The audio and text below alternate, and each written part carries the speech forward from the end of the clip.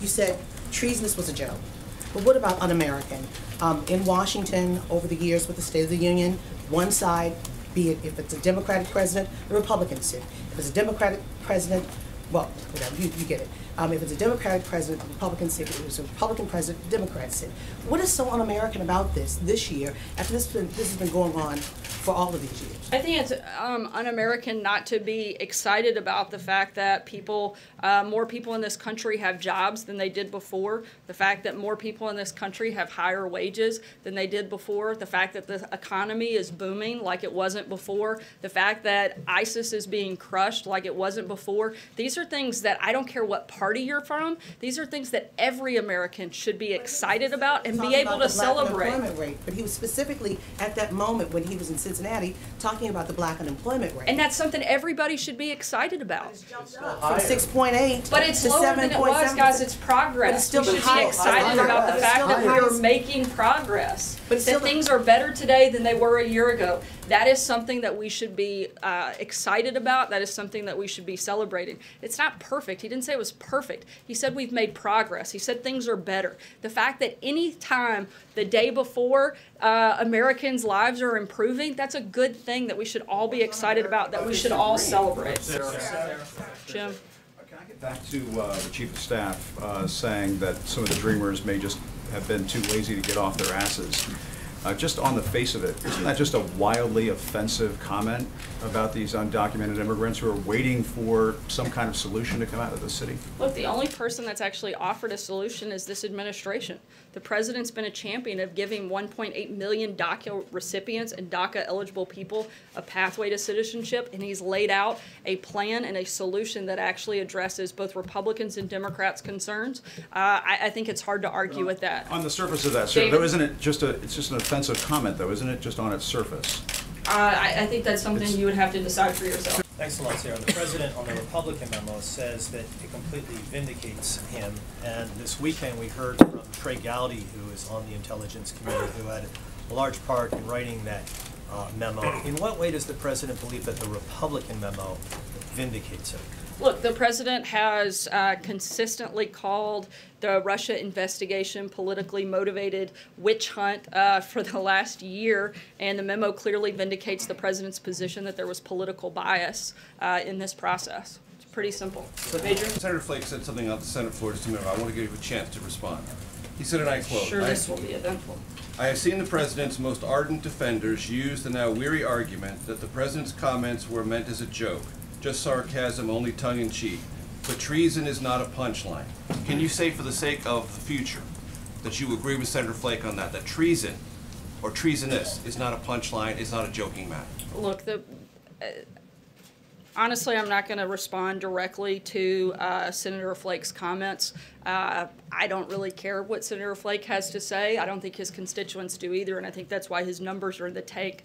Uh, the president was clearly joking with his comments, but what isn't a joke is that Democrats refuse to celebrate the accomplishments of last year that has helped all Americans. What I don't understand, and what I don't think the country understands, is why Democrats are so upset about lower taxes and higher wages. That's something that every American should be celebrating, not crying about, not sitting on their hands for. Democrats are going to have to make a decision at some point really soon. Do they hate this president more than they love this country? And I hope the answer to that is no.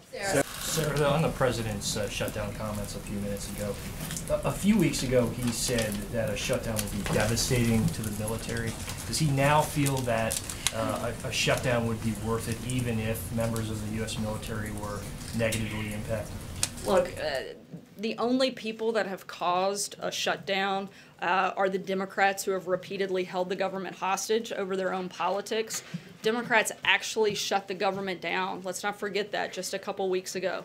The president isn't looking for this, but if the Democrat Party is going to continue to threaten a shutdown because they won't include responsible immigration reforms, including fixing MS 13 loopholes and other issues, then the president welcomes that fight. Uh, it's a fight we won last time, and it's one we're very confident that we would win again. But let me repeat our goal is to get a two year budget deal and to also get a deal on immigration, which we have laid out. The president has generously laid out a plan that addresses both Republicans and Democrats' concerns, and we're hopeful we'll come to an agreement on both of those fronts. But isn't the president encouraging a shutdown here?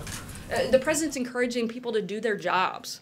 The president's encouraging them to get a deal on the budget as he's laid out, a two-year, a long-term budget deal that actually helps our military uh, instead of doing these short-term deals. That's what he's advocated for all along. And the president is encouraging them to do their jobs and come to an agreement on immigration, particularly the four places that he's outlined that have to happen in any piece of legislation. Sarah, uh, what did the president make of the stock market's volatility yesterday and today? And does he have any regrets about taking uh, responsibility or credit for the stock market's rise? Uh, Look, the economy is incredibly strong right now. The president's focus uh, continues to be on the long-term economic fundamentals, which, like I just said, are very strong in this country. Uh, we're infinitely better off today than where we were before the president took office, particularly on the economy. We have historically low unemployment, and we actually have increasing wages for American workers. There's nothing that's taken place over the last couple of days in our economy that's fundamentally different than it was two weeks ago, and we're very comfortable with where we are right now. Does he have any, does he have any second thoughts about taking credit for it when the stock market goes up? Does the president have second thoughts about taking credit for a booming economy? Absolutely not. Jordan? Thanks, Sarah. Uh, As the president had a chance to review the memo from the Democrats on the House Intelligence Committee, and is he inclined to release it?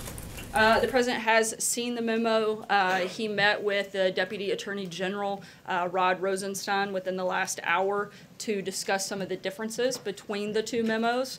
Uh, and we are undergoing the exact same process that we did with the previous memo, in which it will go through a full and thorough legal and national security review. We're in the middle of that process. When that's completed, uh, the president will be given a thorough briefing on uh, the findings of the different organizations and stakeholders that are involved, and we'll make a determination at that time. The review concluded last time, the president had made it clear to lawmakers that he was inclined to release the Republican memo. Has he made any kind of similar comments to you guys about the Democratic memo? The president made the comment that we're going to go through the same process that we went through the first time, and that'll take several days to complete as it did the first time, and we'll make a determination at that point. John? Uh, Sarah, also up at Capitol Hill today, uh, Chief of Staff Kelly said that he didn't think the president would be likely to extend the DACA deadline from March 5th. Uh, But twice in Davos, the president said, uh, if we need a little more time, we'll take a little more time on DACA. And uh, and then in a gaggle, when asked if he would extend the deadline, he said, yeah, I might do that, I might do that, not guaranteeing it, but I certainly have the right to do that if I want. So which is it? Is he still open to the idea of extending the deadline? or is Certainly it has the closed? right to do so. Again, we're hopeful that we're going to get uh, to a deal. We've laid out a very generous offer that uh, meets all of the demands that the Democrats have. In fact, it goes above and beyond what they asked for. Uh, And it includes mostly everything else that is part of the pillars that we have laid out are things that Democrats have voted for. Uh, Elizabeth Warren, Chuck Schumer, all of these individuals have voted for the majority of the priorities that we've laid out in this legislation in the past, except we've actually gone further on the DACA component than Obama ever offered. And so the fact that we can't get to a deal, that's a question, frankly, that Democrats should be asked. Like, what are you not supportive of in this legislation, and why are we not moving the ball forward and actually solving the problem? Can problem? you clarify, is he, open, is he open to extending the deadline, or, or has that door closed? Look, I'm not going to get ahead of the process. We're still hopeful we're going to get there, but before the deadline hits. As it related to the Republican memo, the president and this White House argued it was important to release it for the sake of transparency. So therefore, can the American people expect to see the Democratic memo in the sake of transparency? I think the American people can expect this memo to go through the exact same process that the Republican memo went through, uh, which involves bringing all of the stakeholders from a legal and a national security perspective to weigh in before making a determination. We're in the middle of that process, and I'm not going to get in. Prior to releasing the Republican memo, so why not the same? We didn't release the memo prior to that review process being complete. He said We didn't release the memo prior to the review process being complete, and we're not going to do that this time. Question about John Kelly and his comments, uh, ref calling dreamers, indicating some of them are lazy. Does that type of rhetoric help get a bipartisan deal done? Look, like I said, the president and the administration were focused on actually solving this problem, not kicking it down the road, and we're going to continue to have those conversations. John? Quick question. Uh, There have been numerous published reports that Dave Bowdich, number three in the FBI, will be moved up to be deputy director under Director Wray. Uh, He received both his present appointment and his previous position as head of the Los Angeles office of the FBI uh, under former Director Comey. Given the administration's almost contumacious criticism of Mr. Comey, uh, is there, is there going to be any objection to Mr. Bowdich moving up to the number two spot under Director Wray? Uh, look, I don't have any personnel announcements on that front, but you definitely win the award for best and biggest word used in the briefing. Thanks, guys.